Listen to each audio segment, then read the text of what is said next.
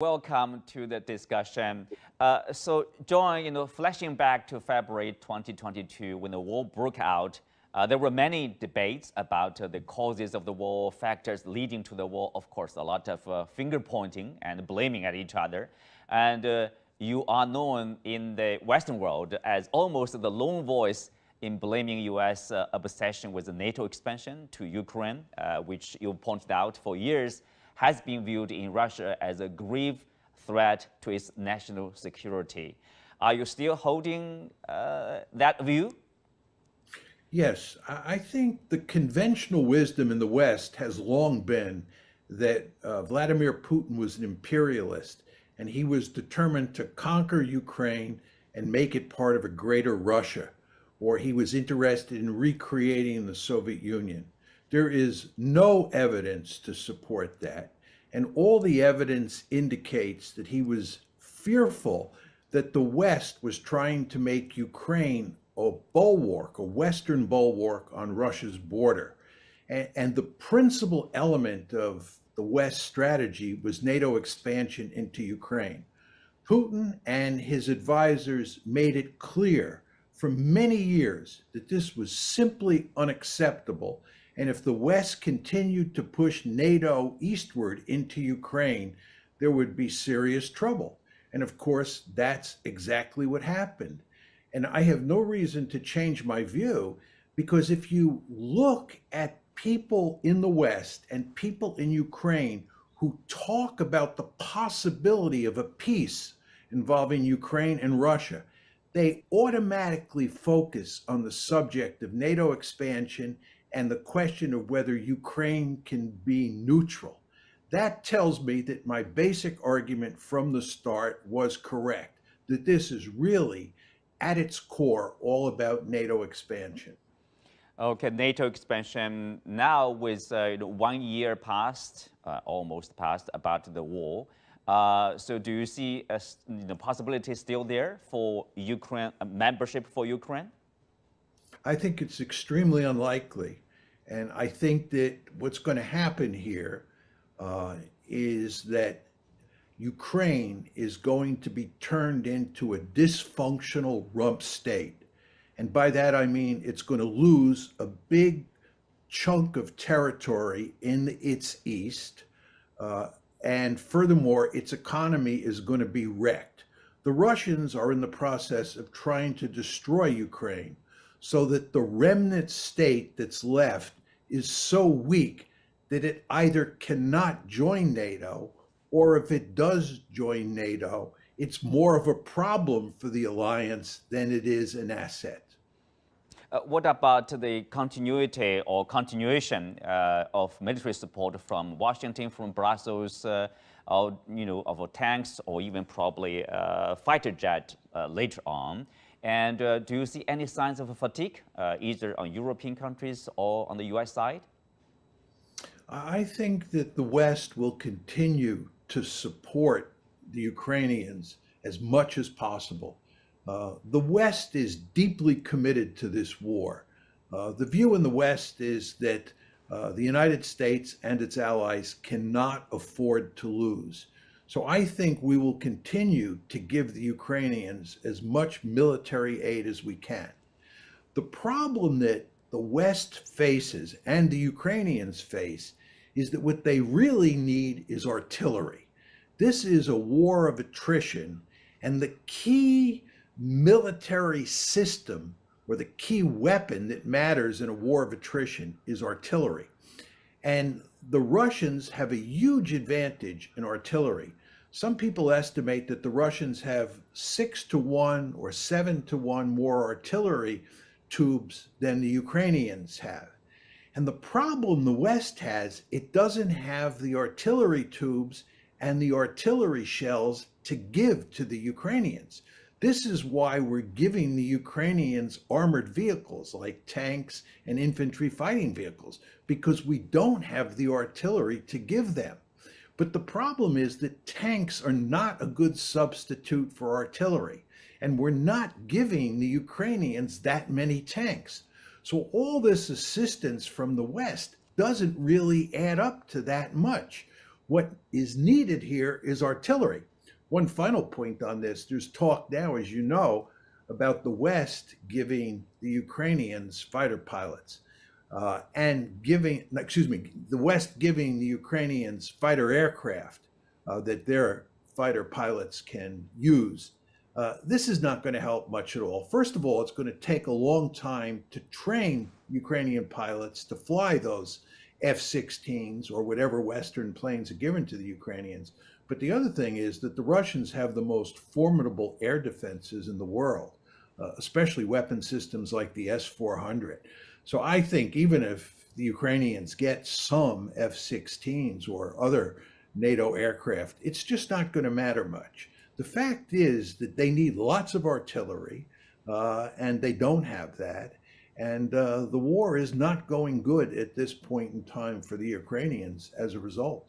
Mm-hmm. John, you said that the West is deeply committed to the war and they cannot afford to lose. Uh, but I would say probably it's the same for the Russians. They can't afford to lose the war. It's about their you know, existence as a nation. Uh, so what's the final game? You know, and, at the same time, you know, we heard of the talk of nuclear war, the threat uh, seems to be increasingly, I'm not sure it's real, but uh, there's a threat of nuclear weapons. Well, I think there's no question that both the Russians and the West are deeply committed to winning this war. But I think that the Russians are more deeply committed. I think for the Russians, victory is more important than it is for the West. From a Russian point of view, what's happening in Ukraine is clearly an existential threat. They view it as a threat to their survival, and they have every intention of making sure that they do not lose and indeed that they win this war. So you have here two sides that are deeply committed to winning, and the Russians are more deeply committed than are the Americans. What this tells you is number one, that it's hard to see how you can have any sort of diplomatic settlement to this war because both sides want to win, and it's impossible for both sides to win. This is why most people think this war is going to go on for a long time. Second, there is a possibility that the West and the Ukrainians will succeed in winning on the battlefield in Ukraine and pushing the Russians back. And it will then appear to the Russians like they are about to lose the war. In that instance, there is a non trivial chance that the Russians will use nuclear weapons to rescue the situation. So one never wants to lose sight of the fact that there is always a serious possibility that nuclear weapons will be used in this war. And it is most likely that they will be used if the Russians are losing. So we in the West are in this paradoxical situation where we are trying to defeat the Russians in Ukraine but the more successful we are at achieving that goal, the more likely it is that nuclear weapons would be used. And that, of course, would be an unmitigated disaster. We do not want that to happen. All of this just tells you how much trouble we are in uh, regarding this uh, war in Ukraine. Mm-hmm. Uh, well, uh, of course, you know, we used to know that there's um, a basic theory of uh, mutually assured destruction. Uh, if one party uses uh, these nuclear weapons, the other party could uh, do the same, and then that's destruction for both sides. is that still, you know, working as a deterrent against either side? Somewhat, but you want to understand that there are two different scenarios where nuclear weapons can be used. One scenario is where the Russians use nuclear weapons against NATO. Uh, and in that instance, mutual assured destruction comes into play because obviously the West has nuclear weapons, the Russians have nuclear weapons, and there is a great danger in that situation that both sides would end up destroying each other. But the more relevant scenario at this point in time is where the Russians use nuclear weapons not against the West, but they use nuclear weapons in Ukraine, against Ukrainian forces, and they use those nuclear weapons in a limited fashion. The Ukrainians do not have a nuclear arsenal of their own. So the Ukrainians cannot retaliate against Russia if Russia uses nuclear weapons in Ukraine. Therefore, mutual assured destruction does not apply in that scenario. And the Russians are likely to think that they can get away with using nuclear weapons. Now, one might say if the Russians use nuclear weapons in Ukraine, the West will then retaliate with its own nuclear weapons to defend Ukraine.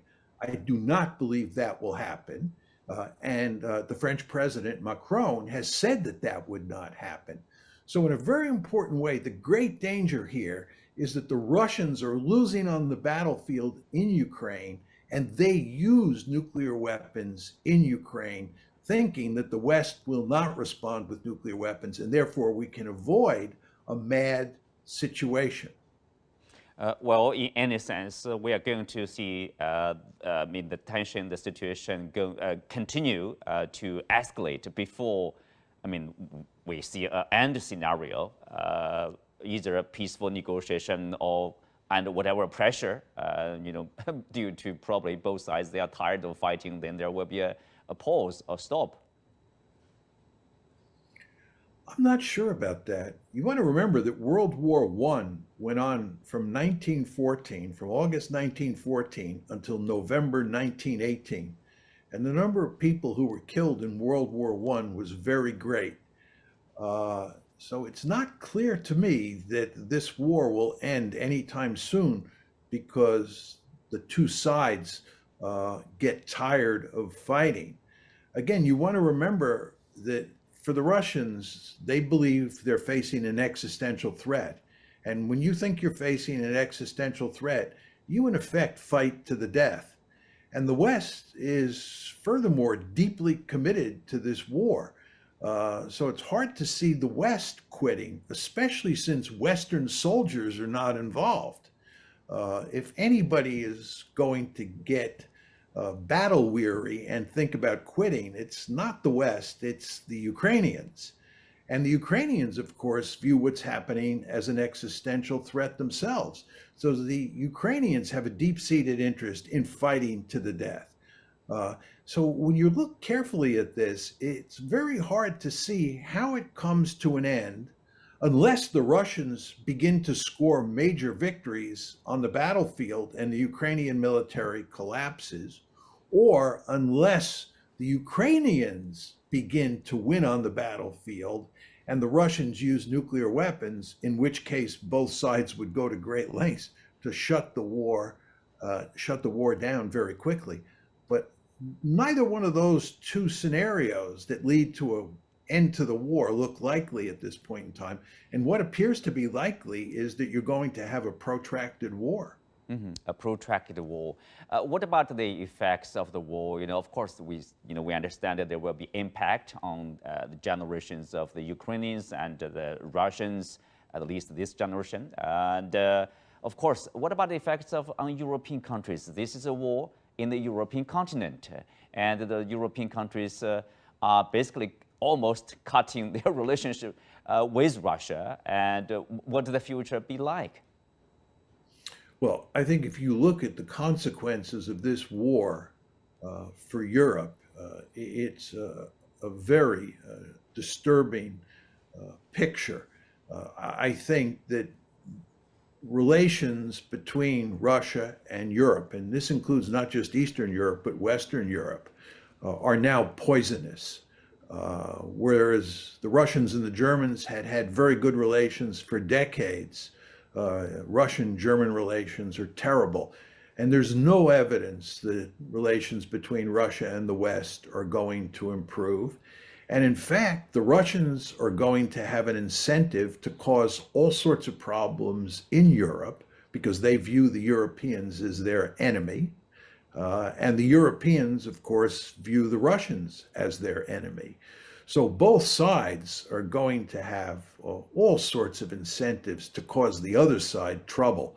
And this means that uh, it's hard to see how you're going to get a stable and peaceful Europe uh, in the foreseeable future.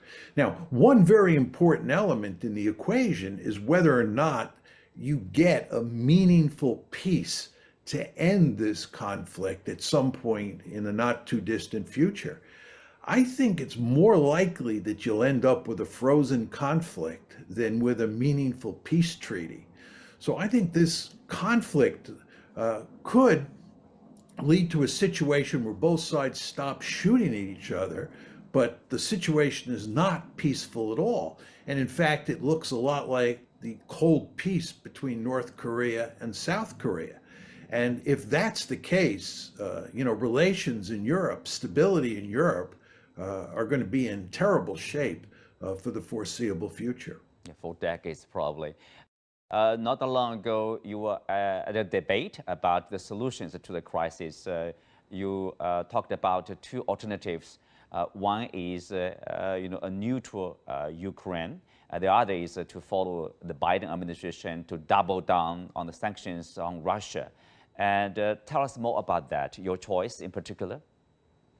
Well, I believe the only way out of this war and the only way to create uh, any semblance of stability in, Europe is for Ukraine to become a neutral state, for Ukraine to give up its aspirations to become part of the West, uh, to give up on its aspirations to become a Western bulwark on Russia's borders.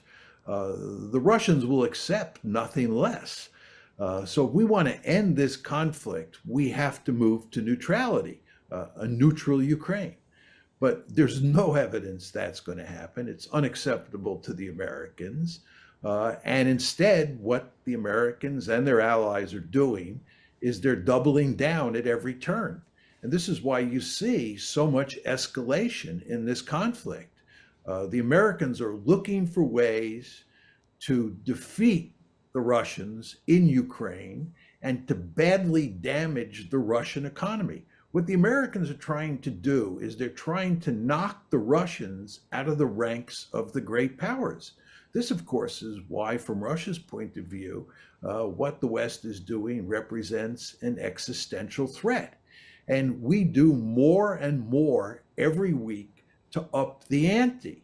And all this does is cause the Russians to do more and more to up the ante. So both sides are upping the ante more and more each week. You have this spiral mechanism at play. Uh, and in no way is this likely to lead to a neutral Ukraine, which again is the only way out of this crisis.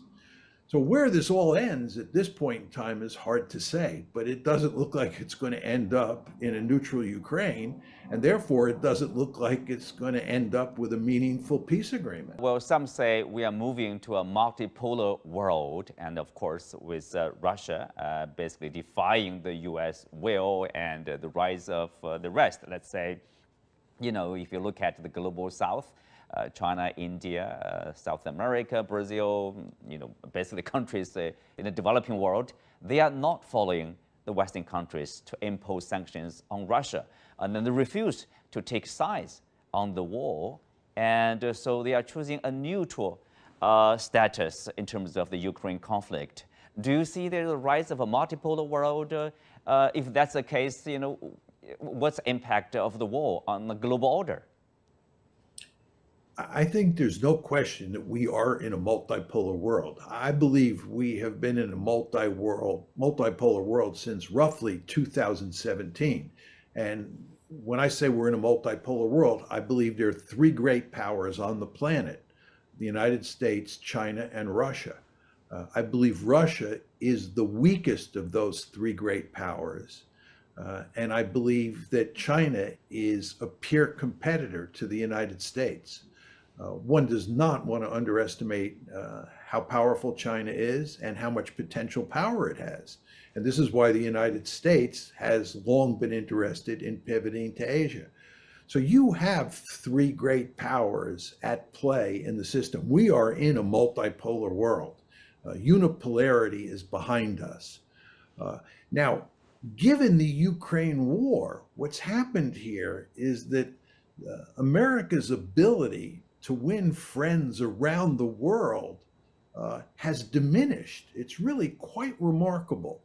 Um, there's no question that in the West, uh, relations between the United States and its European allies and relations between the United States and Japan and South Korea have improved as a result of the Ukraine war. And the West looks more united than ever. But given what the United States is doing in Ukraine, uh, it's quite clear that outside of the West, most countries are not sympathetic to the United States at all. And in fact, they're reasonably, if not very, hostile to the United States. I think the best example of this is India. Uh, before the Ukraine war, it looked like India and the United States were going to join together to form a quite tight balancing coalition against China. Uh, but once the Ukraine war broke out, given the history of good relations between Russia and India, the Indians have been very reluctant to side with the United States in any meaningful way against Russia. And indeed, one could argue that the Indians are siding with the Russians against the Americans over the Ukraine war. This has ramifications for the United States' ability to contain China because India was supposed to be a key player in the balancing coalition against China. So if you look at what's happening as a result of the Ukraine war, what you see is that outside the West, the United States is not doing very well in terms of winning influence and uh, and getting countries to line up on its side against China. Well, uh, you said the U.S. is not doing that well in winning friends. What happened, you know, uh, because the Trump administration certainly is gone, and we have the Joe Biden administration here. Well, the fact is that the Biden administration is, I think, on balance, somewhat more aggressive and somewhat more hawkish uh, than the Trump administration was. Donald Trump, for all his faults, was not a warmonger. Uh, Donald Trump did not start any wars. Uh, and uh, he makes the argument, and it may be true, that if he were the president instead of Joe Biden, that there would be no war in Ukraine. Uh, we can never know for sure whether that's true. But it does get at the point that Trump was, he was certainly hawkish towards China and he was certainly interested in containing China. There's no question about that. But other than his policy towards China, he was not remarkably hawkish by any means. Joe Biden, on the other hand, is hawkish across the board. He is, uh, he is very, uh, very interested in pursuing an aggressive foreign policy. And by the way, if you look at American policy on Ukraine from January 2021 when President Biden moved into the White House up until when the war broke out in February of 2022, what you see is that Joe Biden was becoming much more aggressive on the Ukraine issue than Trump had been. And it was Biden's aggressiveness on the Ukraine issue that played a key role in leading to the war breaking out on February 24th of last year. So you do not want to underestimate how aggressive Biden was toward Russia on the Ukraine issue. And of course, he's been every bit as aggressive towards China, if not more aggressive toward China than uh, his predecessor, Donald Trump, was.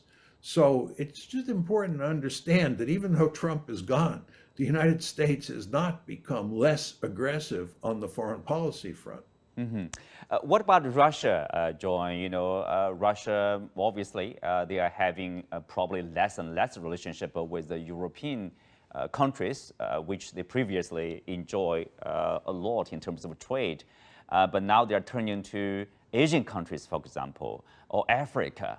Um, so in a couple of years, now they are quite weak economically because of the sanctions. what about, you know, in three years' time or in five years' time? Uh, are their relationship with uh, with China, India, other Asian countries going to, uh, I mean, replace or at least fill this um, the empty room, you know, left probably in their relationship with the European countries? I, think that has to happen. Uh, it, it's hard to imagine uh, trade relations between Russia and Europe going back to what they were uh, before the war broke out. And that's especially true of German Russian relations. It is possible that those relations, those trade relations, will improve somewhat in the distant future, but I think it's going to take a long time for that to happen. And in the meantime, the Russians have very powerful incentives uh, to replace their trade relations, uh, their lost trade relations in Europe, uh, with increased trade relations with countries like India and countries like China and countries in places like Africa. And you see much evidence of that already happening. And I think you'll see more of it moving forward. You know, there's a great deal of talk in the West about the fact that sanctions have failed. There's no doubt that sanctions have hurt the Russian economy somewhat, but not very much, nowhere near as much as people expected. And one of the reasons for that is that the Russians have been have been able to replace their trade relations uh, or their trade with the West with trade with other countries, to include uh, China and India. You know, the latest uh, uh news being that uh, the U.S. Uh, bombed this Nord Stream 2 pipeline. Will that have any effect on Washington's relationship with Brussels? I don't think so. Uh, I think uh, the key question is whether or not it will have an effect on U.S. German relations because Nord Stream belonged to the Germans and the Russians, not to Brussels. And the question is, what will the Germans do? Uh, it's you know difficult to say for sure, but my guess is that the Germans will complain somewhat but in the end, the Germans will not complain too much because the Germans are in good part subservient to the Americans. The Americans basically call the shots in Europe. And when you're involved in a war over Ukraine and the Germans are allied with the United States against Ukraine, and when the United States provides security for Germany, you have a situation where there are real limits to what the Germans can do in terms of complaining about the whole Nord Stream uh, experience. So I, I, don't think it's going to matter that much in the end. Mm-hmm. Well, on that note, we conclude today's show. Many thanks to Professor John J. Mearsheimer.